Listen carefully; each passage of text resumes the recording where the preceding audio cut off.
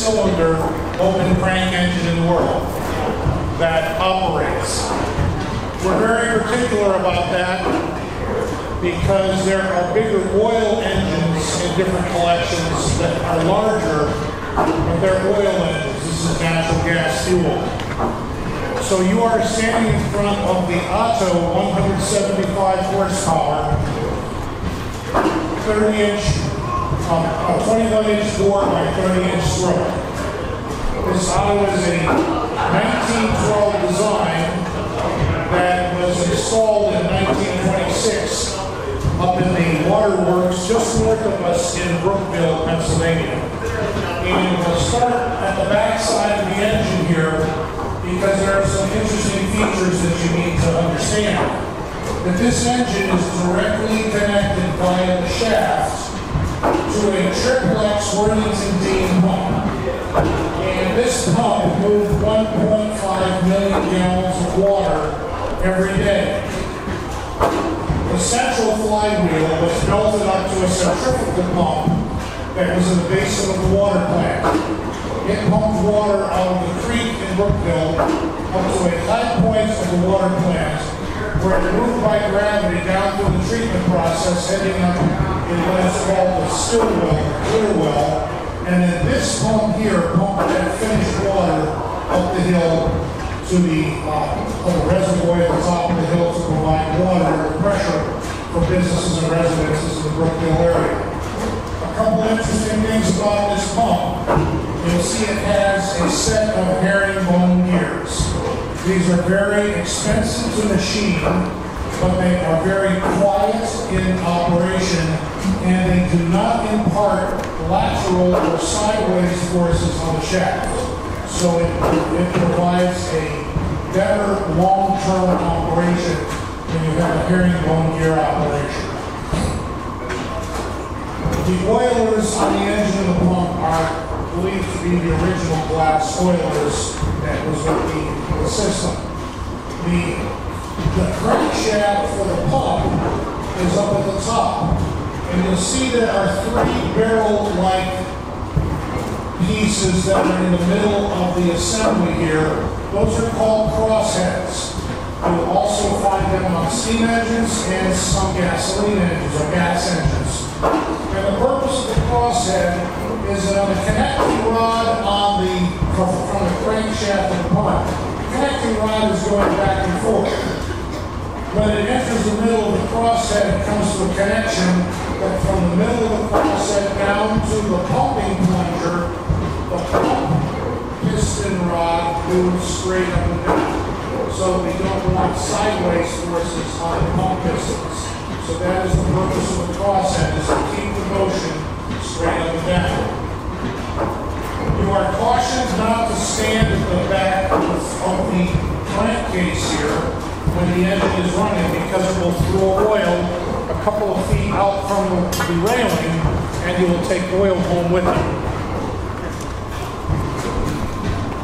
Uh, as we come down to the front part of the engine, the exhaust is rooted to the outdoors, and it goes through this elbow here, and the cooling water for the engine enters through the elbow. So the exhaust elbow is water cooled, and it goes through the engine. As with all of the what they call tank cooled engines, the water rises up through the water jacket, and then it overflows into a funnel which you can see over here at the side when you ultimately come over here. That's typical of all the way our, our engines run, that the water is, is, is exited under atmospheric pressure. These are not pressurized water jackets like you find in your automobile. No. They're under the head pressure of the tank. So this water goes down into the funnel. So that tank fills up. Have an additional uh, ability to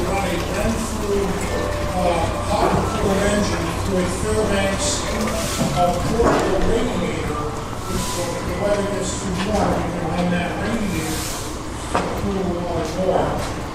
Then it's meant for that tank in several of the buildings here in the bottom under, under pressure from the hill, but that just provides us the ability to get the water back to the engine. This engine is, like all the other big engines, It's started with compressed air. You saw the starting of the engine over here at Blaisdell, Kansas City, the operator has to operate the air valve by hand to time the air start. This has a little button valve located right here, the little, uh, on the side shaft. And as the side shaft turns around the time, it pushes on the button valve and it gets air to the cylinder. Now, with these engines, the piston has to be below the top dead center of the power stroke in order to apply the compressed air. Uh, uh, Nick Scotese, he also, uh, about 15 minutes ago, he started this De La Vergne over here, which is an oil engine. Start that, you roll it backwards, hit compression, and it pops going in the correct direction. And for the first time ever, he started it on the first try. So let's let's give a hand to Nick for all the good work that he does.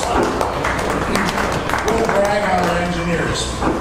Uh, this has a flyball governor, and uh, uh, so and the way the flyball governor works is the engine speeds up, the flyballs spin out, and it reduces the amount of fuel coming to the engine. This is it. And the way low tension ignition works, you can see there are movable points here. And most of the time, the points stay apart. And when we call for ignition, the points briefly come together, creating a current through a coil. Immediately, the points separate again, and that high current through the coil becomes a high voltage in the coil, which jumps the gap in the points, creating a spark. So low tension ignition has an igniter like this. If you see something like this on the side of the engine, which on this engine is located right behind the magneto.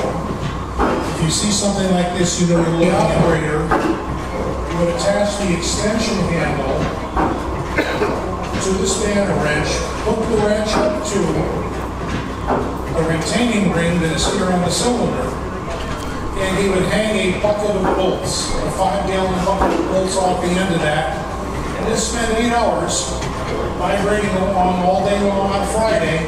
And after eight hours, the operator figured that it was back to factory specifications for torque. So that's that's how the tightening was done. Uh, that about goes through the explanation that we have on the engine. Uh, Nick, whenever you are ready, uh, One more one. one more oil. And uh, that's the, that's what a good engineer does. Now, you know, I ask people, people ask, what do our volunteer engineers do in real life? Nick is a CNC programmer. And uh, so he works with very high-tech equipment. And then as relaxation becomes, he works on real low-tech equipment that is very old.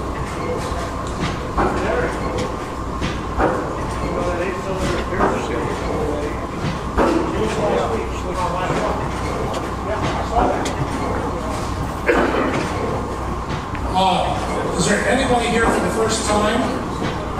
Everybody, so you're here for the first time, you are. Make sure after this engine runs here, go out this door and down the road to the left and take the path that goes up to the long red building on the hill. That's where the snow engine is. That is the largest operating engine from 1917. It is 600 horsepower, 18 foot, 20 ton flywheel. Uh, it compressed natural gas in the gas fields in western Pennsylvania. The entire engine weighs 140 tons and it's 75 feet long. So make sure you see that start. That's scheduled to start at 11:30. 275 yards of concrete. And there's 275 yards in the, in the foundation of the snow, right? This has what, 80 yards of concrete? This one, it's, it's, it's got a good bit of concrete to it. This, this foundation goes another, what, six feet down into the ground? So it's, uh, we put a lot of concrete in this. You who does all the work on these engines? We do. When you, when you get up to the top of the hill, you'll say, well, who put the water tank up on top of the water tank base? And then you look and see, what's the year of that crane up there? Do you happen to know, Nick? There's a 1954 crane up on the hill, which I heard start and run yesterday. So we have people that can run the crane, and it's got an extension on it, which they use to set the tank.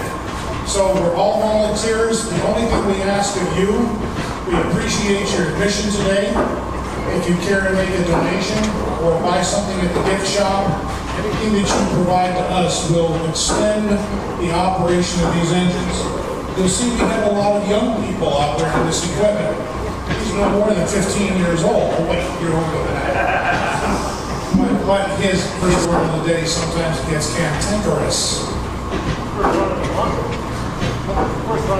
It's the first run of the month. He opens the main air supply valve, opens the valve, brings it to the cylinder. Adjusts the fuel. He's listening.